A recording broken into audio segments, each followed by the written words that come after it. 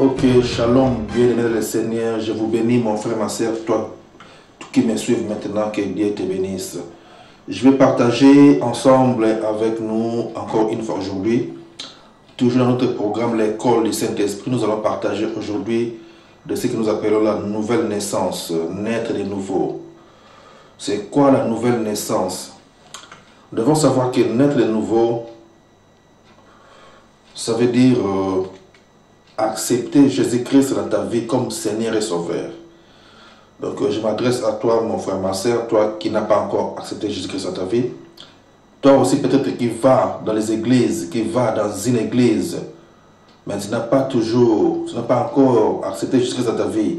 C'est pour ça que je te parle aujourd'hui. Donc, euh, afin que tu puisses comprendre c'est quoi la nouvelle naissance? La nouvelle naissance, ce n'est pas, comme le dit, Nicodème demandait à Jésus-Christ s'il pouvait encore retourner dans le ventre de sa mère et naître encore. Non, ce n'est pas ça. La nouvelle naissance, c'est accepter Jésus-Christ dans ta vie, c'est naître spirituellement.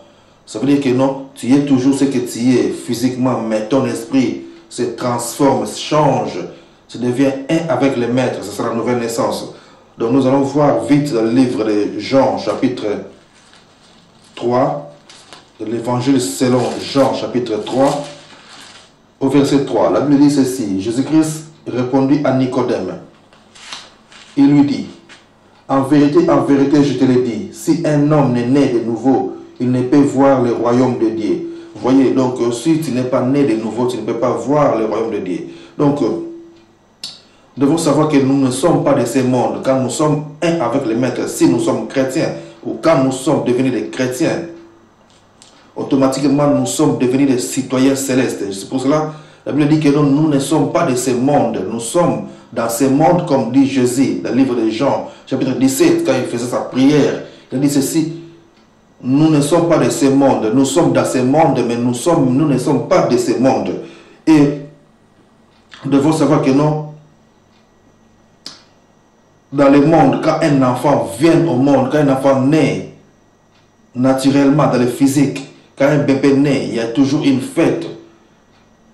Une fête dans le sens que non, les parents sont dans la joie, la famille sont dans la joie. Ça veut dire que non, quelqu'un de nouveau vient de, de naître, un bébé vient de sortir dans le ventre de sa mère et il est là ensemble avec la famille. Donc euh, les gens se réjouissent. De la même manière, la Bible dit ceci que si quelqu'un accepte Jésus dans sa vie, si quelqu'un devient un enfant de Dieu, il y a une fête dans le ciel, il y a une fête au ciel.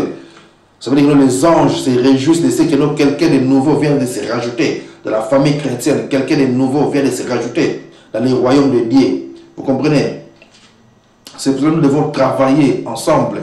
Toi, mon frère qui me suit, donc nous tous devons travailler partout où nous sommes, dans ce monde. Notre travail, c'est cherchons à convertir les gens, cherchons à gagner les gens de ce monde, afin qu'ils puissent devenir des chrétiens comme nous, afin qu'ils puissent devenir des citoyens célestes. C'est ça notre mission, la mission que Dieu avait donnée, notre Seigneur Jésus-Christ avait donnée à tout le monde. Dans le dernier chapitre de Matthieu, il avait dit ceci aux disciples. Allez, faites de toutes les nations des disciples. Allez, faites de toutes les nations des disciples. Ça veut dire quoi? Tout le monde doit devenir un avec le maître. Il a dit aussi le livre de Matthieu, chapitre 24. Il a dit que non, cette, cette nouvelle, ce message doit être prêché par tout le monde.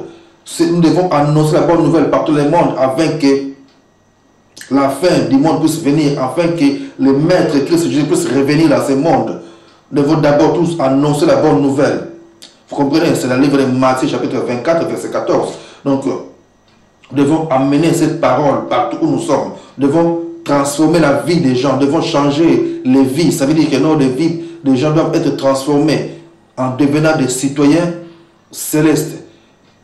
Ça veut dire que nous, sommes toujours dans ce monde, mais nous devons vivre en tant que des représentants de Jésus-Christ. Vous comprenez? Nicodème était un docteur en Israël. C'est qu'on vient de lire le livre de Jean chapitre 3. Nicodème était un docteur en Israël, mais c'est quelqu'un c'est quelqu'un qui connaissait tout, il connaissait beaucoup les choses de ce monde. Et il savait aussi, il connaissait aussi l'œuvre de Dieu. Il connaissait bien la mission de Christ, où il savait ce que Jésus-Christ faisait, que c'était l'œuvre de Dieu.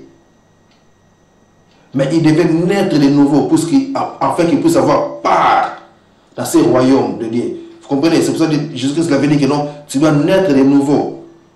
Donc, s'il n'avait pas né de nouveau, s'il ne voulait pas naître de nouveau, donc, euh, il ne pouvait pas, si tu n'aimes pas de nouveau, tu ne peux pas avoir part dans ces royaumes, dans cette œuvre de Dieu, même si tu vas dans les églises, même si tu annonces la bonne, même si tu prêches la parole. Mais tu dois commencer par accepter Jésus-Christ dans ta vie.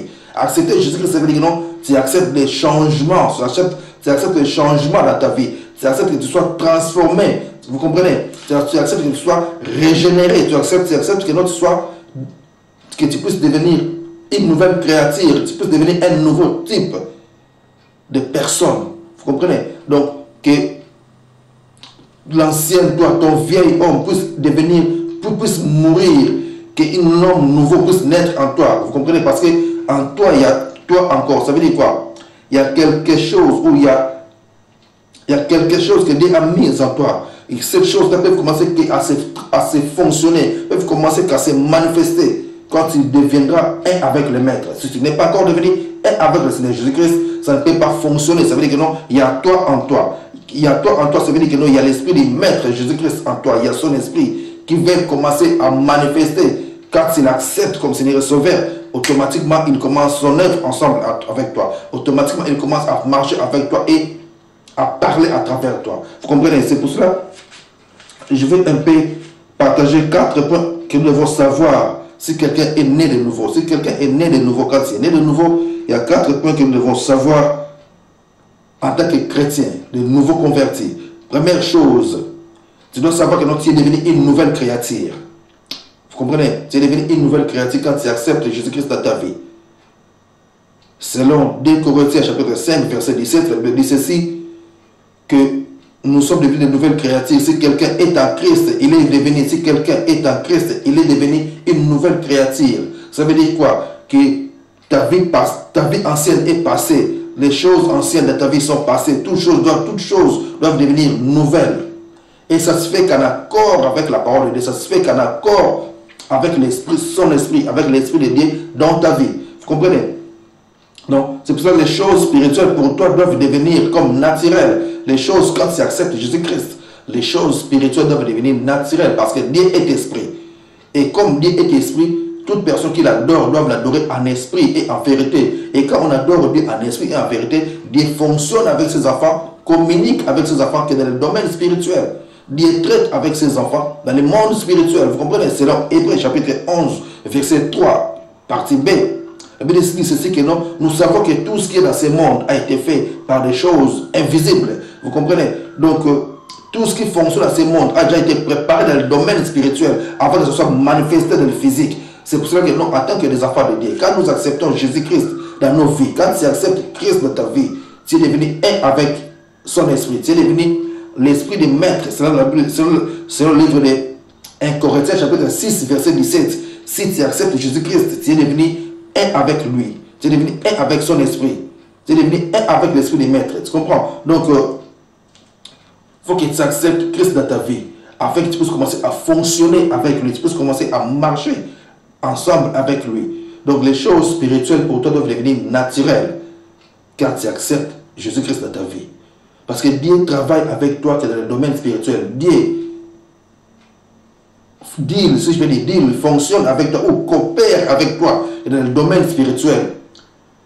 Dieu traite avec toi dans le monde spirituel et c'est à toi de le faire manifester dans ce monde physique. Car nous sommes des citoyens célestes, nous sommes dans ce monde comme des représentants de Jésus-Christ. Vous comprenez? Et deuxième point, lorsque un enfant est né dans ce monde physique, un enfant ordinaire, un enfant naturel, quand il naît, il doit commencer par pousser un cri pour que le monde puisse savoir que non, il naître, pour que les gens de ce monde puissent comprendre que non, il de naître.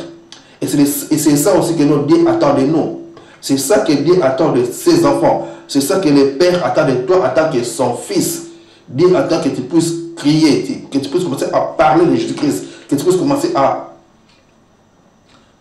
proclamer sa parole de ta bouche. Selon Romains chapitre 10, verset 9 à 10, la Bible dit, la Bible dit ceci que si tu confesses Jésus-Christ dans ta bouche et si tu crois dans ton cœur que dans ton cœur, Dieu a resté de mort, sera sauvé.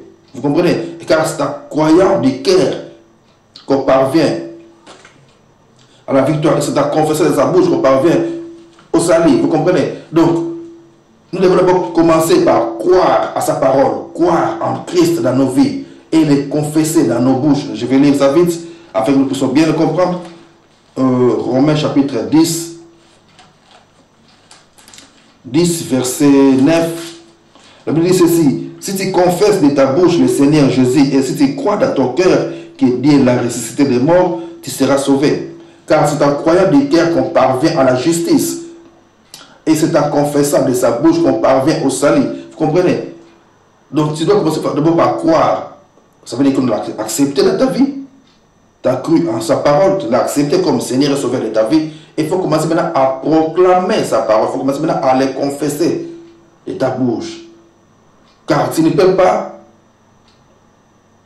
tu ne peux pas se limiter qu'à croire à sa parole. Tu ne peux pas te limiter qu'à l'acceptant comme Seigneur et Sauveur de ta vie. Il faut que tu puisses commencer aussi à parler de sa part, confesser Jésus-Christ dans ta bouche. Alors quand tu confesses Jésus-Christ dans ta bouche, ça veut dire que non, commencer à annoncer sa parole, commencer à parler ou à édifier les autres par la parole qui habite en toi.